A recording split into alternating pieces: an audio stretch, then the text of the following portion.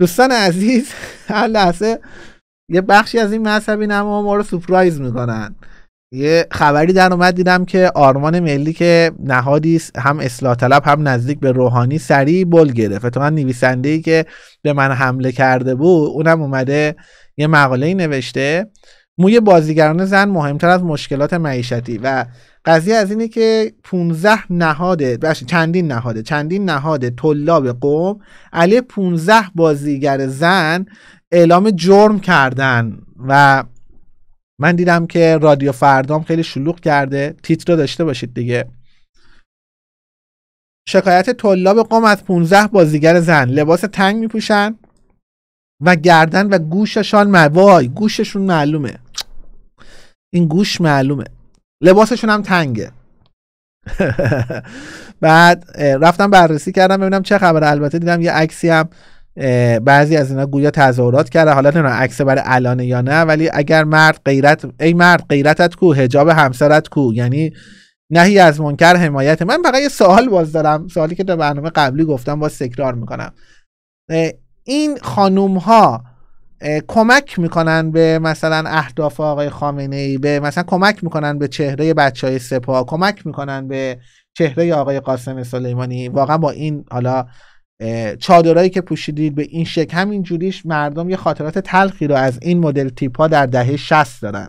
ببینید من یه وایسی صبح گذاشتم گفتم بخش قابل توجهی از این براندازان چون تو دهه 50 به دنیا آمدن جوونیشون خورده بود دهه 60 دیگه مثلا 15 سال شده بوده دهه 60 و مثلا کسی که مثلا سال 51 دو به دنیا اومده بعد مثلا در سال 65 مثلا دیگه 14 15 سالشه دیگه نوجوونه. و بخش قابل توجهی از اینا هیچ وقت نمی‌تونن با این نظام کنار بیان و عقده ای شدن و نتونستن خودشون رو بازیابی کنن چون جوونیشون تو دهه 60 توسط این چهره ها توسط این خانم های چادری اینا روبوده شده. من خودم دهه 60 مثلا اواخر دهه 60 حالا می‌تونیم بگیم حتی اوایل دهه 70 مثلا من 7 سالم بود. یه سری چیزا هنوز یه سری تصاویر تو ذهنم یادمه. که زنان تو خیابون نمی‌تونستن بستنی بخورن لباس آستین کوتاه مثلا در حقیقت تو حداقل تو بخشای ادارات دولتی اجازه پوشیدن نداشتی. یه سری را من که 7 سالم بود پدرم تو کار سینما بود اینا داستانش طولانیه. رفته بودیم وزارت ارشاد توی خیابون اگر حضور ذهن داشته باشم تو طرفای میدون بهارستان بود. بعد ما اومدیم بریم تو جلوی ما رو گرفتن. و گفت بچه هف... مثلا من 7 سالم بود برادرم خب دو سال از من کوچیکتر 6 سالش بود. بعد ما آستینمون کوتاه بود. بچه 6 ساله و 8 ساله رو راه ندادن تو ساختمون. لباسمون هم مارک پارک نداشت فقط آستینمون کوتاه بود. خب ببین صحنه هنوز تو ذهن منه دیگه. بزرگ شدم چهل سالم شده صحنه تو ذهن منه. منتها من آدم عقده ای نیستم که به خاطر یه همچین صحنه هایی بخوام کلیات زیر سوال ببرم. من یه آدم استثنایی هم تو این زمینه. ولی خب این تصاویر حال مردم رو بد می‌کنه نمی‌کنه؟ و ببین رادیو فردا چقدر رند. من رفتم حالا خود خبر رو البته خود نامه شکایت رو پیدا کردم. یه نامه شکایتی پیدا کردم که اینه بخشایی از توش در آوردم تو متن. سه تا پاراگراف کوتاهش می‌خوام براتون بخونم. خدایی خیلی از دوستان مذهبی عاقل اینو ببینید خودتون قضاوت کنید. میگه معلوم بودن مقداری از سینه گردن و گوش ها استفاده از کلاه لبهدار و وسایل تزیینی مانند گل سر به جای روسری پوشیدن لباس های تنگ و چسبان و معلوم بودن برجستگی های بدن پوشیدن شلوارک و شلوارهای پاره و ساپورت, ساپورت رنگ بدن پوشیدن لباس های آستین کوتاه و مانتوهای شیشه ای صورت گرفته است. این نامه این نامه به قوه قضاییه اولا شرکت نه تا تشکل مذهبی در قومه که بیشترشون طلاب هستند و در 23 آذر این شکایت انجام شده و رسانه‌ای شدنش از 28 آذر بوده. بعد ادامه میده میگه این بازیگران با انتشار تصاویر خود در اینستاگرام و حضور در معابر و مجالس عمومی با این پوشش ها به این به ما طلاب خانواده ما و جامعه ما که در آن زندگی می‌کنیم ضرر معنوی وارد کردن شما هم با این رفتاراتون و با این بالاخره جلوی خیلی از دیسکو چه می‌دونم اشغال مردم و اینا رو گرفتی شما هم به ما ضرر معنوی زدید. بدون رو دروایسی دیگه. بعد میگه که ما خواستار جبران تمامی این ضررها می باشیم چقدر پر تمامیت خواهی رو داشته باشید. بعد میگه نقش بستن تصاویر جنسی. این تا من این برنامه هم در دفاع باز از نظام جمهوری اسلامی دارم می‌سازم. جالبه چون اینا صحبت خود آقای خامنه ای که میگه اون خانومی که حالا بی اجابه یه مقدار میاد و دید صحبت های آقای خامنه ای هست صحبت های آقای سلیمانی هست. میگه نقش بستن تصاویر جنسی این زنان در اصحان در کنار پیامدهای اجتماعی موجب برخی آثار فردی از جمله تحلیل رفتن عقل محرومیت انس با خدا و تاثیر و تاثیرات منفی در روابط حسنه زن و شوهر می شود ببینید من من واردش نمیشم این چرت و پرتایی که اینا نوشتن. فقط می‌خوام یک چیزی رو بگم. جمهوری اسلامی هیچ وقت با داشتن این بخش از آدماهایی که واقعا گل به خودی هن حداقل در بهترین حالت و قزنفرن ولی البته من می‌دونم داستان چیه. یکی از کارهایی که ببین شما الان عکسای ترام زهرش رو ریخ به آقای اوباما و خانم هیلاری کلینتون. عکسای بن لادن شاید یه برنامه بسازم. عکسای بن لادن با خانم هیلاری کلینتون در اومده. بن لادن. با هیلاری کلینتون. عکساشون در اومده. اینا رو ترامپ منتشر کرده. دوستان هر دوتا زنجیر ستاره داوود انداختن. آقای بن لادن و خانم هیلاری کلینتون ستاره داوود انداختن.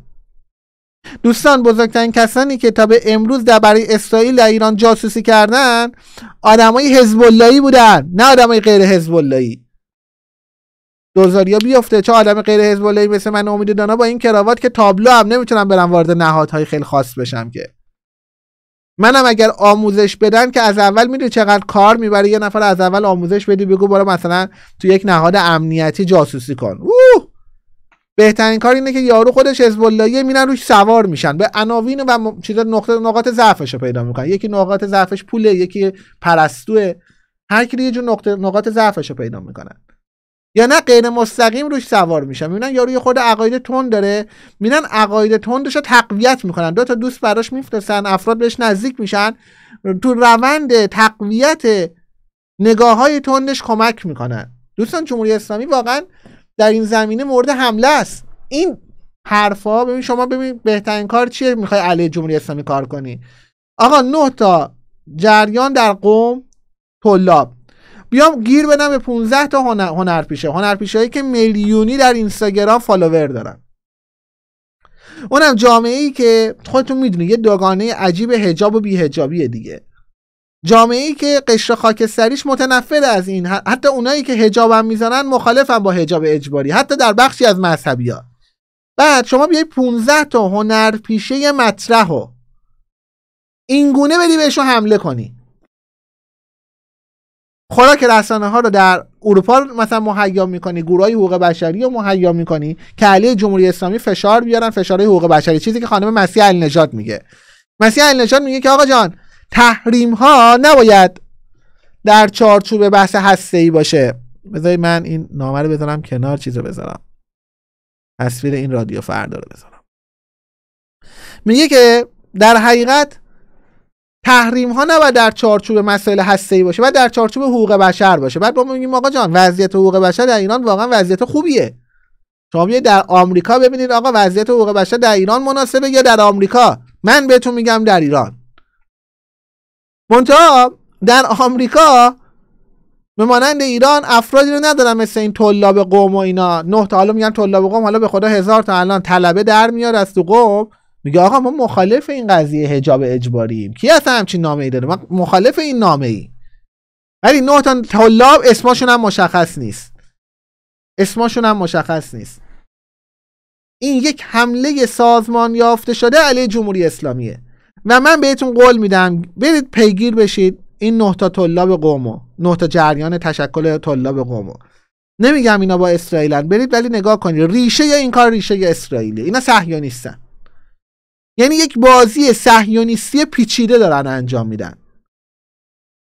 آخه الان تو این وضعیت اقتصادی تو این فشارها تو این جنگ رسانه‌ای آخه به خدا من الان با هر کدوم از دوستان مذهبی در سطح بالا بچهای بالا. بچهای بالا.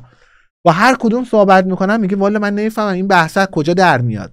الان در بخش نهادهای بالا و بچه های بالای نظام در بخش تصمیم گیران نظام تنها چیزی که الان مطرح نیست حجابه.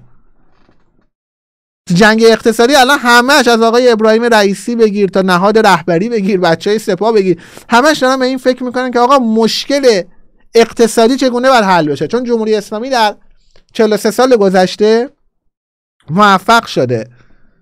تا سال 1375 بنیه دفاعی رو تضمین کرد. تا سال 63 1363 هم خودش رو تصویب کرد. یعنی دو تا مسئله بود. شما یه انقلابی بکنی شاهکاری که انقلاب توش درونش انقلاب دیگه رخ نده. و این شاهکار شاهکار آقای خمینی بوده. بعد براش مهم بود که آقا از نظر بنیه دفاعی که جنگ جهانی اول دوم به ایران حمله کردن ما به یک درجه ای برسیم که دیگه کسی از این غلطا نکنه و تونستیم. الان دیدید؟ اسرائیل داشت تهدید می‌کرد. یه دونه بچه ها اومدن پیامبر اعظم 17 رو راه انداختن دهن اسرائیل سرویس شد.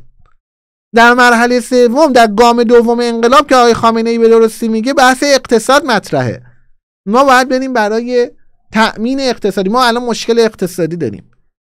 و تو این شرایط تنها چیزی که الان ببخشید تصمیم گیران نظام بهش فکر نمی‌کنن این معقولات مسخره آزادی مدنی و چیزای معقولات مسخره داشتن حجاب و غیر حجابه حالا سوال اینه در این شرایط اینا که این حرفا می‌زنن اینا دوست نظامن دوست کشورن دوست مردمن یا اینا ببخشید یار دوازدهم اسرائیلن. این خیلی مهمیه. به شرافت هم به عنوان تجربه دارم. دیدید دیگه من هر حرفی زدم تا به امروز ثابت شده. هر چی گفتم ثابت شده. به شرافت هم قسم. نهادهای امنیتی برید این نه تا طلاب تشکل طلاب قوم بازجویی کنید. 99 درصدشون هم بهتون قول میدم خبر ندارن ها. ولی ببین ریشه کار کجاست؟ ریشه کار کار اسم سریال گاندو داشت نشون می‌داد دیگه. انگلیس سوار یکی از استادان باستانشناس شده بود تو سریال گاندو به قشنگی تصویر کشید. که آقا بره رو ملیگرا کار کنه. چیکار کنه؟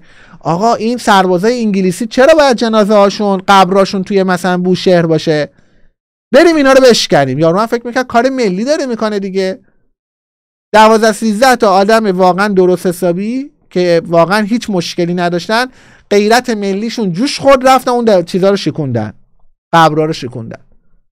این خانمای مذهبی این آقایینی که طلابن امضا کردن 90 درصدشون بهتون قول میدم آدمای سالمی خبر نداره که. میره قلقلکشون میدن. میرن قلقلک میدن مسئله واقعا مذهبی رو توشون آقا ببین چقدر بیهجابی داره بیدا فساد میافه مغزشون رو شستشون میدن اینا رو چیز می‌کنن؟ که اینا بیان یه همچین بیانیه تو این شرایط علیه 15 تا هنر پیشه در حالی که می‌دونن این ب... چیزی که شما داری بیانیه نیست شکایت کردن. این شکایتی که شما از این 15 تا هنر پیشه کردید پشمه. فقط جنبه رسانه‌ای داره. این جنبه رسانه‌ایش به نفع نظامه یا به ضرر نظامه؟ خواهیم دیگه؟ من ببینم قوه قضاییه پشم صورت که ندارم پشم صورت. موی این خانم های هنرپیشه رو موی این خانم های هنرپیشه رو می‌خورن یا نمی‌خورن؟ هیچی نمیشه. پس این شکایت نامه جنبه چی داره؟ جنبه تبلیغی داره. حالا من یه سوال دارم. چون چیز این ارزش قضایی که نداره الان قوه قضاییه که نمیره اون 15 تا خانم صدا کنه به خاطر شکایت طلاب که. این چیزی که الان منتشر شد فقط ارزش ای داره برای رادیو فردا. آقا این عزیز طلاب قوم شما که علی این 15 تا خانم اومدیدین شکایت نوشتید. شما که می‌دونید که این شکایتتون به جایی نمی‌رسه. اگر نظر مذهبی انقدر تعصب دارید که نوشتید. پس می‌دونید که این شکایت شما جنبه تبلیغی داره. من یک سوال دارم. شما به نفع جمهوری اسلامی تبلیغ کردید یا به ضرر جمهوری اسلامی؟ رادیو فردا رو ببین بفهم کجایی. رادیو فردا ازش استفاده کرد. روزنامه های اصلاح طلب استفاده کردن.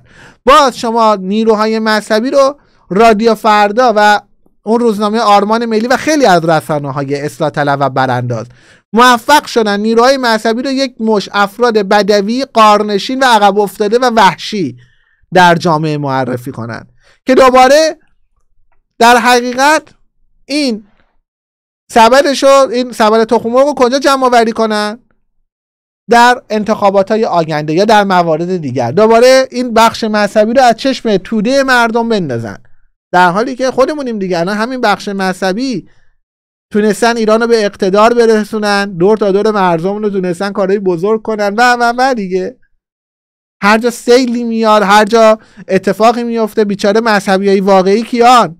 اونایی که بلند میشن میرن بیل و کلنگ رو ور روستاها رو می‌سازن. ولی یک عده مذهبی دیگر کمهوش و بعضی هاشون دارن معمور اسرائیلن. من گفتم کسانی که این نامه نمیشن 99 درصد اینا آدمای سالمی ها. منتها کمهوشن. منتها مغزها و افق دیدشون پایینه. اون یک درصد اومده چیکار کرده؟ مثل سریال گاندو نشون می‌داد. روی اینا سوار شده. اون یک درصد رو نهاد امنیتی بره پیگیری کنه. قول شرف بهتون میدم اون یک درصده زیر سر یا سفارت انگلیسه یا زیر سر جریانات صهیونیستیه. پیدا می‌کنید. این بحث درد اینجاست. این درده.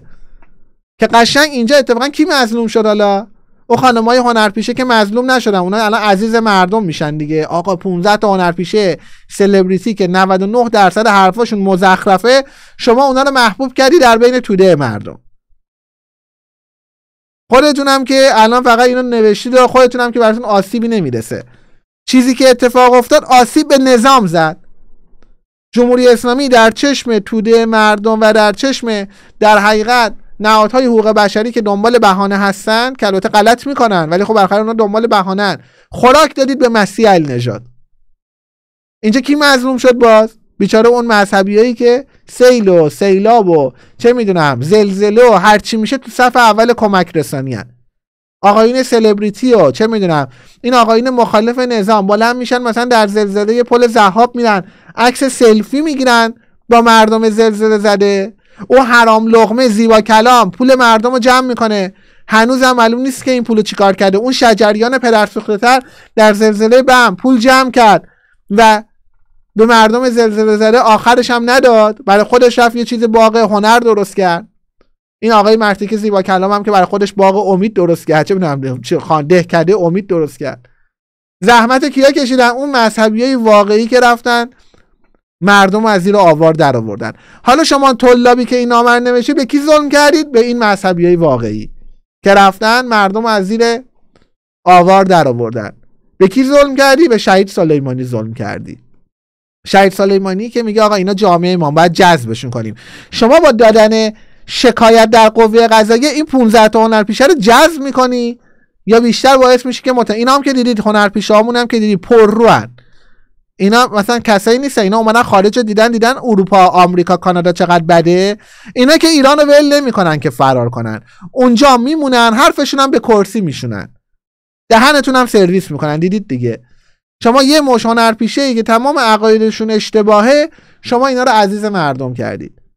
تهش بازی رو کی گردونده؟ مطمئن باشید یا سفارت انگلیس یا جریانات صهیونیستی. تو این شک نکنید. اینو به عنوان تجربهم قسم می‌خورم. این شکایت طلاب از این 15 تا هنرپیشه یک پروژه اسرائیلی پروژه انگلیسیه. شک تو این قضیه نکنید. دمتون گرم شب روزگار خوش. همتون رو به خدای بزرگ میسپارم. پاینده ایران.